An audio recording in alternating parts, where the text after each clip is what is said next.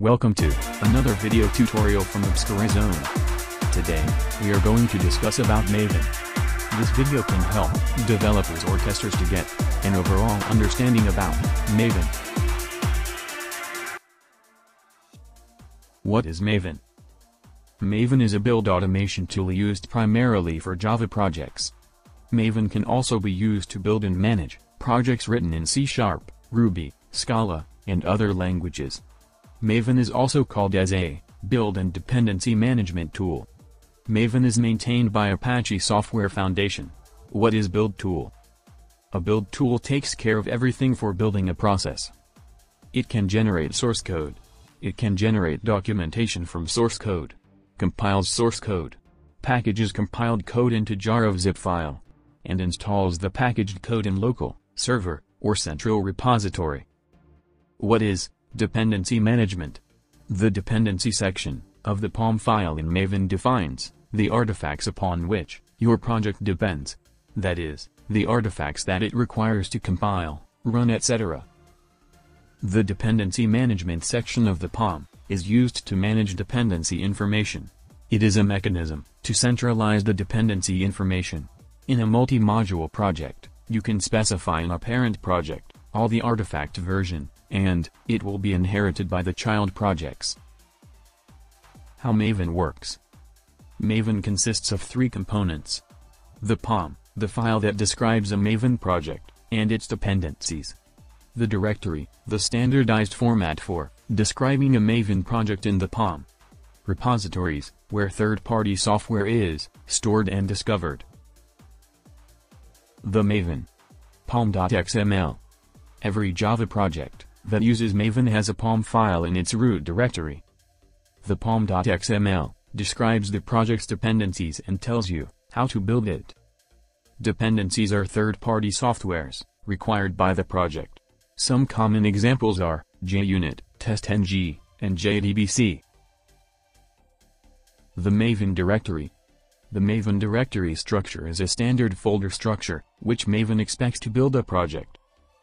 You do not have to follow the Maven directory structure, but it is much easier if you do, and it also makes it easier for other developers to understand your project directory structure.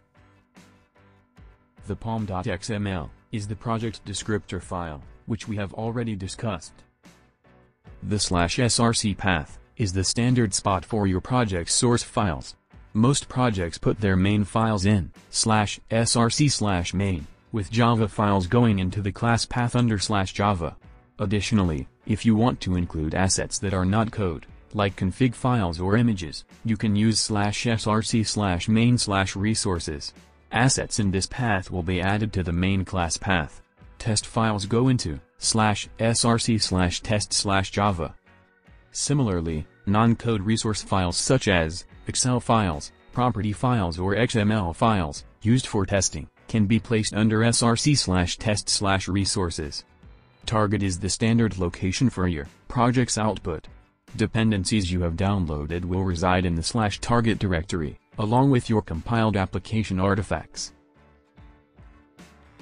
Maven Repository Maven uses centralized repositories to both discover and publish project packages as dependencies. The three types of repositories are Local repository. The local repository is a directory on the computer, where Maven runs. It caches remote downloads, and contains temporary build artifacts that you have not yet released. Remote repository. When using Maven, particularly in a corporate environment connecting to the internet to download dependencies is not acceptable for security, speed or bandwidth reasons. For that reason, it is desirable to set up an internal repository to house a copy of artifacts, and to publish private artifacts.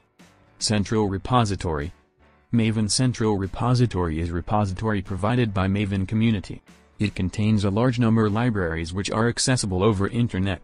When Maven does not find any dependency in local repository, it starts searching in Central Repository. POM.xml Additional contents and usages POM.xml file is not just used for providing dependencies. Some of the other configurations that can be specified in the POM are plugins, goals, build profiles, project version, developers, and mailing list.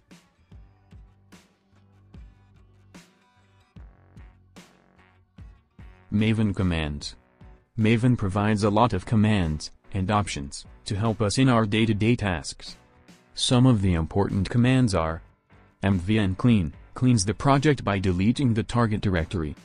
mvn validate, validate the project is correct and all necessary information is available. mvn, test compiles the compiled source code, using a suitable unit testing framework.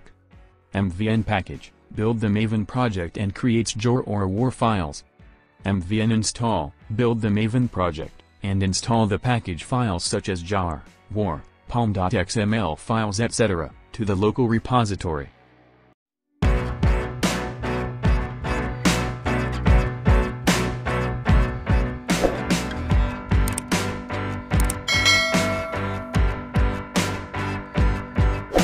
Obsqura Zone, the corporate trainers.